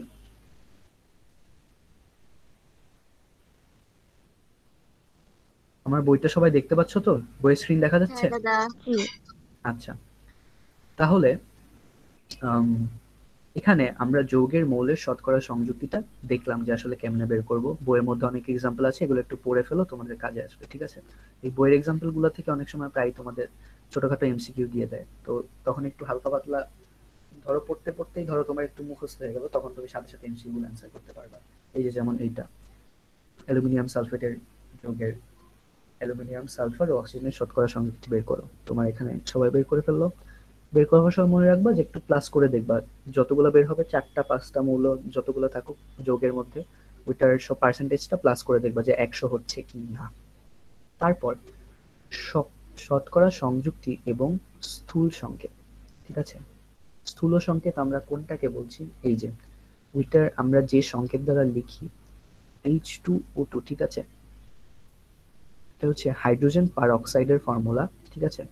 হাইড্রোজেনের পার অক্সাইডের ফর্মুলাটা হচ্ছে এটাই এইচ টু ও টু তো এখানে ওয়ান ইস টু ওয়ান রেশিওতে থাকে স্থূল সংকেতে যেটা তোমরা একটু পড়ে নেবা। এখানে কিছু ধাপ আছে, স্থূল সংকেত আমরা কেমনে বের করি? আমরা আসলে পার্সেন্টেজ কম্পোজিশনটা যদি তোমার দেওয়া থাকে, ওইখান থেকে তুমি স্থূল সংকেত বের করতে পারবে। এখন, আমাদের সাধারণত বোর্ডে যে প্রশ্নগুলো হয়, করে কি, তোমার গ টাইপে বলে দেয় যে পার্সেন্টেজ কম্পোজিশনটা বের করো, ঠিক আছে? বা শতকরা সংযুক্তি বের করো। আর ডিতে বলে, বা চার নম্বরে বলে, এখানে কি বের করো? স্থূল সংকেত বের করে ফেলো। তো তুমি আগে যে শতকরা সংযুক্ত বের করলে ওইটা ইউজ করে স্থূ- স্থূল সংকেতটা বের করবে। এখানে কিছু নিয়ম আছে ফার্স্টে তো মৌলের শতকরা সংযুক্তিকে এর পারমাণবিক ভার দ্বারা ভাগ করতে হবে, ঠিক আছে? তো এখানে মনে হয় সিএইচ ফোর দ্বারা করেছে। শুধুমাত্র সিএইচ দ্বারা করেছে, তাহলে হাইড্রোকার্বন নিচ্ছে সিএইচ ঠিক আছে? হাইড্রোকার্বন তাহলে এখানে কার্বনের পার্সেন্টেজ কত দেওয়া আছে? Ninety two point three one percent এবং হাইড্রোজেনের সংযুক্তি কত? Seven point six nine percent তো আমরা ফার্স্ট ধাপটা করে ফেলি যে যে শতকরাটা বা পার্সেন্টেজটা দেওয়া থাকবে, ওইটাকে আমরা পারমাণবিক সংখ্যা দ্বারা ভাগ করে দিব। তো কার্বনের পারমাণবিক সংখ্যা আমরা জানি বারো, ওটার পার্সেন্টেজ দ্বারা ভাগ করে দিলে আমরা কত? সেভেন পয়েন্ট সিক্স নাইন পাচ্ছি। ঠিক আছে? এরপর কি? হাইড্রোজেনের একটা সেভেন পয়েন্ট সিক্স নাইনই তো ওইটাকে যদি আমরা হাইড্রোজেনের পারমাণবিক ভর ওয়ান দ্বারা ভাগ করি সেভেন পয়েন্ট সিক্স নাইনই পাচ্ছি। এখন এখন তোমার ফার্স্ট ধাপে যেহেতু দুইটাই মিলে গেছে, তোমার সেকেন্ড ধাপে যাওয়া লাগে না। ঠিক আছে? তো দুইটাই যেহেতু মিলে গেছে, আমাদের এখন করতে হবে কি? নর্মাল স্টেপেই বলি তোমাদের। এই দুইটার মধ্যে যদি না মিলেও, ঠিক আছে? ধরো হাইড্রোজেন এখানে সেভেন পয়েন্ট সিক্স নাইন না এসে হাইড্রোজেন এখানে আসলো ফোর পয়েন্ট সামথিং বা টু পয়েন্ট ওয়ান ফোর এরকম কিছু আসলো মানে কার্বনের এই যে নাম্বারটা আসছে সেটা থেকে কম, ঠিক আছে? তো এই দুইটার মধ্যে নিশ্চয়ই টু পয়েন্ট ওয়ান ফোর ওইটা কম হবে। তো তখন আমরা করব কি? এই স্টেপে যে সেকেন্ড স্টেপে যে সেকেন্ড স্টেপে আমরা করব কি? এই যে সংখ্যাটা পেলাম, এটাকে আমরা এই দুইটার মধ্যে সব থেকে ছোট যে সংখ্যাটা আছে, ওইটা দ্বারা ভাগ করব। তো এখন যেহেতু এখানে দুইটাই সমান, ওই কারণে একটা দ্বারা ভাগ করছে, যায় আসে না। তো seven point six nine seven point six ভাগ করে দিচ্ছে ওয়ান পেলাম। এইচটা ভাগ করে দিচ্ছে ওয়ান পেলাম। তো এইটা পাওয়ার পর তুমি এখানে এই যে যতগুলো পেলে ওটা এখানে বসাই দিবা, ঠিক আছে? তো এটার একটু ক্লিয়ার হব এই সালফিউরিক অ্যাসিডের ক্ষেত্রে আসলে, ঠিক আছে? তো সালফিউরিক অ্যাসিডের পার্সেন্ট আমরা একটু আগে বের করলাম two point zero four thirty two point six five sixty five point three zero এর স্থূল সংকেত বের করো। এই স্থূল সংকেত কি আসবে? মলিকুলার ফর্মুলাটা আসবে এইচ টু এসও ফোর আমরা জানি। ও চারটা আসবে আর এস একটা আসবে হাইড্রোজেন দুইটা আসবে, ঠিক আছে? এখন আমরা ফার্স্ট স্টেপটা করে নিলাম, যেটা হচ্ছে যত পার্সেন্টেজ আছে, ওইটাকে আমরা কি দ্বারা ভাগ করব? ওইটার মলিকুলার ম্যাস ঠিক আছে? ওইটার পারমাণবিক সংখ্যা দ্বারা ভাগ করব। তো হাইড্রোজেনের পারমাণবিক সংখ্যা এক, ভাগ করলাম, কত? টু পয়েন্ট জিরো ফোরই থাকে। সালফারের বত্রিশ, তো thirty two point six five divided by thirty two one point zero two পাচ্ছি আমরা। আর অক্সিজেন এখানে sixty five point three zero যেটা হচ্ছে ওয়ান সিক্স এখন, এই তিনটার মধ্যে কোনটা সব থেকে ছোট এখানে? সব থেকে ছোট নিশ্চয়ই ওয়ান পয়েন্ট জিরো টু তো আমরা সেকেন্ড স্টেপে কি বললাম? যে এই তিনটা সংখ্যার মধ্যে, বা এখানে যত সংখ্যা থাকবে, এগুলোর মধ্যে সব থেকে ছোট যেটা থাকবে, ওই ছোটটাকে আমরা আলাদা ধরে নেব। ছোটটাকে সবগুলা দ্বারা ডিভাইড দিব। এই ছোটটাকে নিজেও ছোট দ্বারা ডিভাইড দিব টু পয়েন্ট জিরোটাকেও ছোট দ্বারা ডিভাইড দিব, এটাকেও সব থেকে ছোট দ্বারা ডিভাইড দিব, ভাগ দিব। তাহলে এখানে সব থেকে ছোট ওয়ান পয়েন্ট জিরো টু তো আমরা এই যে এখানে ভাগ দিলাম। এই যে ভাগফলের মধ্যে যে সংখ্যাটি ক্ষুদ্রতম, সেই সংখ্যা দিয়ে ভাগফলগুলোকে ভাগ করি। তারপর কি আসলো? এই যে হাইড্রোজেনকে টু পয়েন্ট জিরো ফোরকে আমরা ওয়ান পয়েন্ট জিরো টু দিয়ে ভাগ করলাম, দুই চলে আসলো। তারপর সালফারটাকে ওয়ান পয়েন্ট জিরো টুকে ওয়ান পয়েন্ট জিরো টু ভাগ করলাম, এক আসলো। আর ফোর পয়েন্ট জিরো এইটকে ওয়ান পয়েন্ট জিরো ভাগ করলাম ফোর আসলো। অনেক সময় একটু মানে হিসাব হালকা একটু, যেহেতু আমরা সবসময় হান্ড্রেড পার্সেন্ট নিয়ে কাজ করি না আমরা, এই যে দেখো, এখানে সবগুলো প্লাস করলে কিন্তু হান্ড্রেড পার্সেন্ট না ninety nine point nine nine percent ঠিক আছে? ম্যাথ যেহেতু একটু হালকা এরার থাকে, তো তোমার এখানে অনেক সময় ফোর পয়েন্ট জিরো নাইন চলে আসতে পারে, তো ফোর পয়েন্ট জিরো নাইন ভাগ ওয়ান পয়েন্ট জিরো তো তুমি পারফেক্ট ফোর পাবা না, তখন কিন্তু ঘাবড়াই যাওয়ার কিছু নাই। তখন এই যে মেইন যে সংখ্যাটা থাকে সেটাই আমরা নিব, ঠিক আছে? যে ফোর পয়েন্ট যদি ধরো তোমার ফোর পয়েন্ট টু আসলো ফোর পয়েন্ট থ্রি আসলো, তখন ফোরটাই আমরা নিব। ঠিক আছে? তখন একটা জিনিস করতে হবে কি? এই যে, এই ক্ষেত্রে এই জিনিসটাকে সবাই বুঝতে পারছ যে আর কি এখানে তো ইজিলি বোঝা যায়, এটা আর কি তখন নর্মালি আমরা নিয়ে ফেলব, তারপর আমরা কি করব? বসাই দিব। বসাই দিলে কি হবে? আমরা এইচ দুইটা বসাই দিলাম। তারপর সালফার একটা বসাই দিলাম, অক্সিজেন চারটা বসাই দিলাম এইচ টু এস ফোর সংকেতটা আমরা পেয়ে গেলাম। তাহলে পরের অঙ্কটা দেখি আমরা। পরের অঙ্কে দুইটার পার্সেন্টেজ দেওয়া আছে হাইড্রোজেন আর অক্সিজেন শতকরা সংযুক্তি কত? Eleven point one one percent আর eighty eight point eight nine percent ঠিক আছে? তোমাকে অনেক সময় এরকমই বলে দিবে ডাইরেক্ট ঠিক আছে? এরকম পার্সেন্টেজ দিয়ে দেবে, মৌলগুলোর নাম বলবে আর পার্সেন্টেজ দিয়ে দিবে। এখান থেকে তোমাদের যৌগটা বের করতে হবে আসলে কোন যৌগের কথা এখানে বলা আছে, ঠিক আছে? এটা অর্গানিক পড়াইলে এখান থেকে একটু সুন্দর করে কোয়েশ্চেন আসে, অনেক সময় অর্গানিক থেকে ওইটা মিশাই দেয়। তোমাদের কেমিস্ট্রিতে কি অনেক চ্যাপ্টারই মিশানো যায়? তো মিশানো প্রশ্নগুলো তোমরা বেশি প্র্যাকটিস করার চেষ্টা করবে, ঠিক আছে? কারণ মিশানো প্রশ্নগুলো বেশি ইম্পর্টেন্ট দুই, তিনটা, চারটা, পাঁচটা চ্যাপ্টারের মিক্সচারগুলো কোয়েশ্চেনগুলো একটু টাফ হয়ে যায়। তাহলে, এখানে আমরা ফার্স্ট স্টেপটা করে নিলাম। পারমাণবিক ভর দ্বারা ভাগ করে দিলাম ইলেভেন পয়েন্ট ইলেভেন ইলেভেনই আসে। আর অক্সিজেনের ক্ষেত্রে eighty eight point eight nine percent পার্সেন্টেজকে ষোলো দ্বারা ভাগ দিলাম ফাইভ পয়েন্ট ফাইভ ফাইভ এখন যে সংখ্যাটি ক্ষুদ্রতম, সেটা দিয়ে ভাগ করে দিলাম। এখানে ক্ষুদ্রতম ফাইভ পয়েন্ট ফাইভ ফাইভ যেটা ওয়ান তো এটা কি হয়ে গেল? মিলে গেল এইচ টু ও পেয়ে গেলাম আমরা পানি। বা সুপার মডেল আছে কোন শো এর জন্য, সেটাকে রেস্টুরেন্ট হিসেবে বলছিল। তো এই জিনিসটা আমাদের শেখা হয়ে গেল। এখন একটা জিনিস যেটা আমরা আসব, সেটা হচ্ছে শতকরা সংযুক্তি থেকে যোগের আণবিক সংকেত বের করা। তো এতক্ষণ আমরা স্থূল সংকেত বের করতেছিলাম, এখন আমরা আণবিক সংকেতটা বের করব। আণবিক সংকেতের ক্ষেত্রে এই ফর্মুলাটা মাস্ট একটু হাইলাইট করে দিচ্ছি আমি। এই ফর্মুলাটা হাইলাইট করা যাচ্ছে না। তাহলে এই ফর্মুলাটা তোমাদের মাস্ট একটু মনে রাখতে হবে, ঠিক আছে? এই যে, এই জিনিসটা ভুলেও ভোলা যাবে না। এইটা দিয়েই যত সব এই চ্যাপ্টারের সিকিউ কোয়েশ্চেন একটু টাফ আসে। এছাড়া তুমি সবই বুঝতে পারবে। তো এটা দিয়ে আমার একবার পরীক্ষায় আসছিল, ওটা আমি পারি না জিনিসটা হচ্ছে কি এন ইজ ইকুয়াল টু বা এখানে এন বলতে কি বোঝাচ্ছে? আণবিক ভর, এই যে যদি স্থূল সংকেতের ভর থেকে আণবিক ভর এন গুণ বেশি হয়, তাহলে এনটা আসলে কি? স্থূল সংকেত আর আণবিক ভরের রেশিওটাই হচ্ছে এন তো তোমাকে যদি এন দেওয়া থাকে, ঠিক আছে? তাহলে কিন্তু তোমাকে যদি ধরো এন দেওয়া আছে আর কি দেওয়া আছে? স্থূল সংকেত দেওয়া আছে। তখন তুমি স্থূল সংকেতের ভিতরে যা যা আছে ওটাকে এন দ্বারা গুণ করে আণবিক সংকেতটা বের করে ফেলতে পারবা। ঠিক আছে? তো এই জিনিসটা যদি বের করতে পারি আমরা, তাহলে এখন প্রসেসটা দেখে আসলে কেমনে বের করছি। তো সবার আগে আমাদের পার্সেন্টেজটা দেওয়া আছে, তো পার্সেন্টেজটা থেকে আমরা কি বের করব? স্থূল সংকেতটা বের করে নিব, ঠিক আছে? তো পার্সেন্টেজটা থেকে আমরা স্থূল সংকেতটা যদি বের করে নেই, এখানে কি দেওয়া আছে? এইচ সি তো এটা আমরা আগেও দেখেছিলাম, স্থূল সংকেতটা কি আসবে? সিএইচ তো এখানে সি এর মানও কত আসলো? ওয়ান আসলো, আর এইচ এর মানটা ওয়ানই আসলো। তো এই মানগুলো এবং মৌলের প্রতীক দিয়ে সংকেত আকারে লিখলে স্থূল সংকেত পাওয়া যায়। তো অতএব যৌগটির স্থূল সংকেত সি ওয়ান এইচ ওয়ান বা সিএইচ তো যৌগের স্থূল সংকেত সিএইচ হলে এর আণবিক সংকেত হবে CH two the power N ঠিক আছে? এখন এন আমরা এনকে আমরা কীভাবে বের করব? যৌগের আণবিক ভরটাকে স্থূল সংকেতের ভর দ্বারা কি করে ফেলব, ভাগ করে ফেলব। তো তোমার কোয়েশ্চেনের মধ্যে যৌগের আণবিক ভরটা দেওয়া থাকবে, ঠিক আছে? যে যৌগের আণবিক ভরটা আমরা বের করছি, সেটা আণবিক ভরটা দেওয়া থাকবে। কারণ কার্বন হাইড্রোজেন দিয়ে বহুত কিছু হয়।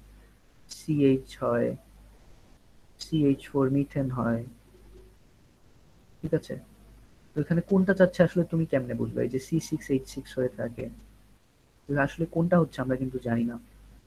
তো তোমাকে আণবিক ভরটা দেওয়া থাকবে, ওইটার রেসপেক্টে আমরা বের করব।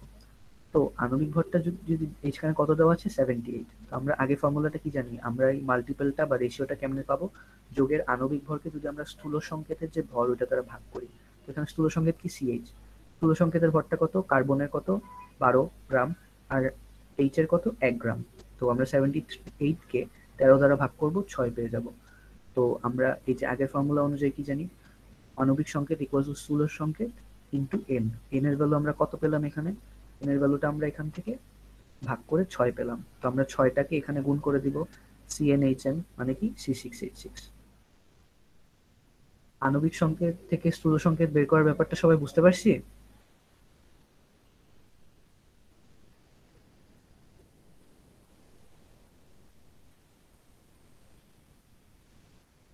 অ্যাঞ্জেলিন প্রশ্ন আসছে কোনো দাদা? না নাই। হ্যান্ডটা নামাই ফেলো। আচ্ছা এই জিনিসটা সবাই বুঝতে পারছি তো আশা করি না? জি।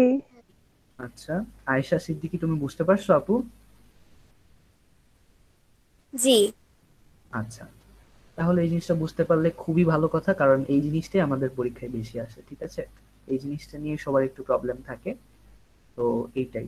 মৌলি তারপরে সহিষ্ণুতা সবাই বুঝতে পারছ তো? কোনো প্রবলেম থাকলে বলবা সাথে সাথে। তাহলে এইটাই।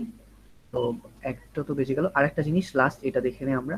আণবিক সংকেত থেকে স্থূল সংকেত নির্ণয় আমরা কেমনে করব? ঠিক আছে? এখন, এখানের ক্ষেত্রে আমাদের কমন নিয়ে এনটাকে বাদ দিয়ে দিতে হবে। তো আমরা কমন নিব কেমনে দেখি?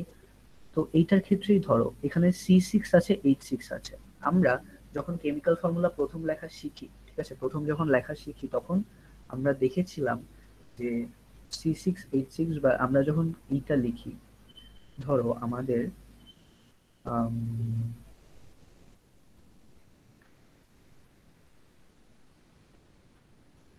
ধরো এইচ তো তো এরকম আসে না। ধরো এখানে এইচ ফোর আসলো আর ও টু আসলো। এখন এটাকে আমরা এটা এটা কিন্তু এটা দ্বারা কিন্তু পানি বুঝাইতেছে। এখন কি এটাকে আমরা এইচ ফোর ও টু লিখব না এইচ টু ও লিখব? আমাকে বলো তো একজন। কোনটা লিখলে ঠিক হবে কোনটা লিখলে ভুল হবে?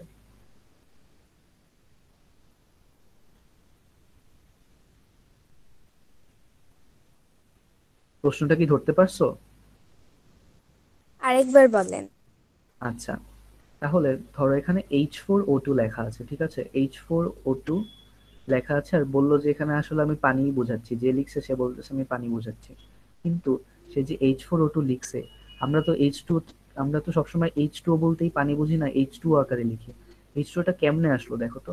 ধরো এখানে এইচ ফোর ও টু ছিল কিন্তু এখানে দেখো দুইটা থেকেই টু কমন যাচ্ছে না। এখানে চারকে দুই দ্বারা ভাগ করতে পারি? এখানে দুইটাকেও দুই দ্বারা ভাগ করতে দুই দুই যদি আমরা কমন নিয়ে ফেলি তাহলে এটাকে আমরা এইচ টু লিখতে পারতেছি। তার মানে কি? আসলে এখানে এইচ টু এইচ টু ওই আছে, কিন্তু এখানে কয়টা এইচ টু আছে? দুইটা দুইটা এইচ টু আছে, ঠিক আছে? এই- জিনিসটা কি, আসলে কি? টু এইচ টু ও ওইটাকেই ভেঙে এরকম ভাবে লিখছে যে চারটা হাইড্রোজেন, দুইটা অক্সিজেন মিলে কিছু একটা করছে। ওইটা হচ্ছে দুইটা এইচ টু ঠিক আছে? তাহলে দুই মোল এইচ টু এটা। তাহলে এখানে আসলে জিনিসটা হইলোটা কি? এই যে দেখো, আমরা আগের ফর্মুলার মধ্যেও এই যে এনটাকে লিখলাম না আণবিক সংকেত সমান সমান স্থূল সংকেত ইন্টু এন তো এইটা এইটা কিন্তু আমাদের এন বের হয়ে গেছে, ঠিক আছে? এটা আমাদের এন বের হয়েছে। আর এটা আমাদের স্থূল সংকেত বের হয়ে গেছে। এটা যদি দুই মোল পানির আণবিক সংকেত হতো, ঠিক আছে? আণবিক ভর যদি, এই যে, দুই মোল পানির আণবিক ভর তোমাকে এত দেওয়া আছে। ওই- ওইটার রেসপেক্টে তুমি এটা পেলে, ঠিক আছে? দুই মোল পানির আণবিক ভর দেওয়া আছে, ধরো দুই ইন্টু আঠারো। কত? টু এইচ এর সিক্সটিন থার্টি সিক্স তো থার্টি সিক্স দেওয়া আছে। ওইটা থেকে তুমি এইচ ফোর ও টু পাবে। ঠিক আছে? কিন্তু এটাকে তুমি যখন কমন নিয়ে লিখবে, দেখবে যে এখানে আসলে দুই মোল এইচ টু তোমাকে এখান থেকে যখন স্থূল সংকেত নির্ণয় করতে বলবে, তখন এইটাকে আমরা এরকম কমন ফর্মে নিয়ে নিব। কমন ফর্মে নিলে কি হবে? এই অবস্থাটা চলে আসবে। এই অবস্থা আসলে পরে আমরা কি জানি? আণবিক সংকেত ইকুয়াল টু স্থূল সংকেত ব্র্যাকেটের ভিতর থাকবে আর ওইটার বাইরে কমন পার্টটা থাকবে। তো কমন পার্টটা যদি আমরা বাদ দিয়ে দিই তাহলে তো এটা স্থূল সংকেত হয়ে যাচ্ছে না। তো এই জিনিসটা স্থূল সংকেত কি হবে? এইচ টু হয়ে যাবে। এই জিনিসটা এখানে করছে। দেখো C six H two four six যেটা হচ্ছে গ্লুকোজের ফর্মুলা উইটার স্থূল সংকেত বের করতে হবে, ঠিক আছে? তো গ্লুকোজে C six H two four six এর একটি অণুতে ছয়টি সি পরমাণু, বারোটি হাইড্রোজেন পরমাণু আর ছয়টি অক্সিজেন পরমাণু আছে। তো এটার অনুপাত যদি আমরা করতে যাই, এই যে এখানে কিন্তু আমরা অনুপাতই করছি, ঠিক আছে? ফোর ইস টু টু কে আমরা টু ইস টু ওয়ান লিখতে পারি, ঠিক আছে? ফোর ইস টু টু কে টু ইস টু ওয়ান লেখা যায়। এইটা যা জিনিস টু ইস টু ওয়ান একই জিনিস। তো এখানে টু ইস টু ওয়ান আছে, আর দুই কমন নিয়ে নিছে, আর এখানে ফোর ইস টু টু আছে। তো তাহলে এটাকেই কি করছে? অনুপাত আকারে নিছে। তো সিক্স টুয়েলভ সিক্স ছয়, বারো ছয়কে অনুপাত আকারে নিলে কি হয়ে যাচ্ছে? এই সবগুলো ছয় দ্বারা ভাগ যায়। তাহলে কি? One is to two two is to one যাচ্ছে। তো এই অনুপাতটা যদি আমরা বসাই দেই, তা আমরা স্থূল সংকেত পেয়ে যাব। যেটা হচ্ছে সি এইচ টু ও তো গ্লুকোজের স্থূল সংকেত যদি তোমাকে চায় তখন তুমি সি এইচ টু ও লিখবে। আর যদি আণবিক সংকেত চায় তখন কি লিখবে? C six H twelve O six তো এই জিনিসটা বুঝতে কি কারও সমস্যা হয়েছে? আদর আনামিকা অ্যাঞ্জেলিন আয়েশা লুবাবা মৌলি সবাই বুঝতে পারছ তোমরা? হ্যাঁ। আচ্ছা। রীতি। শিকদার আপু বুঝতে পারছ তুমি?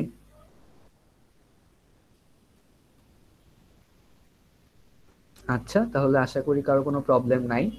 তো এই জিনিসটাই, আমাদের আর কি যেহেতু এই পার্টটা শেষ হয়ে গেল, আমাদের কিন্তু চ্যাপ্টার সিক্স কমপ্লিট তাহলে চ্যাপ্টার সিক্সে যে হোমওয়ার্কগুলো দিলাম, এটা তোমরা একটু করো, আমাকে গ্রুপে কন্ট্যাক্ট করো, যদি প্রবলেম হয়, আমি চেক করব কয়েকদিন গ্রুপ আর একটু হোমওয়ার্কগুলো করে তোমরা আমাকে পাঠাও, ঠিক আছে? গ্রুপে গ্রুপে আপলোড করে দিতে পারো।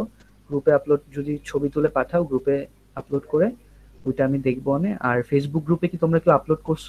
লাস্ট হোমওয়ার্ক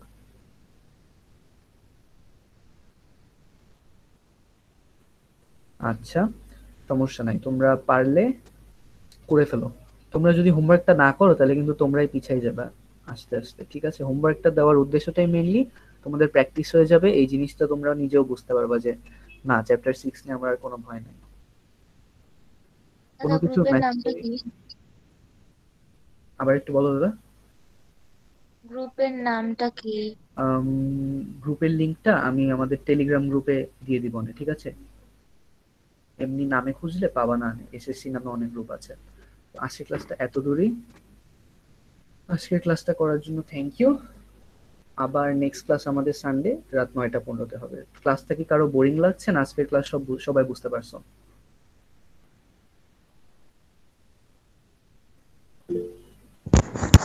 পারছি আচ্ছা ঠিক আছে।